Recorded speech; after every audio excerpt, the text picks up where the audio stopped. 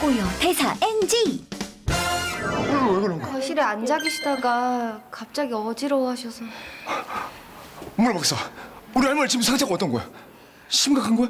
어? 문화 박사가 집, 집, 집, 집, 집, 집, 집, 집, 집, 집, 집, 집도 집. 왜요? 자신 없는 건? 에? 에? 에? 에? 우쭈쭈 엔지 되셨잖아요.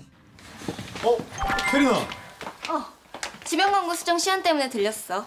차번 없어서 허 팀장님께 전달했으니까 협조. 대사 엔지가 나고 막간을 이용해 개인기를 선보이는 태준. 하얀 거탑에 이성균이 장준영한테 야 장준영 야 너만 의사야? 나도 의사야 야 너만 의사야? 나도 의사야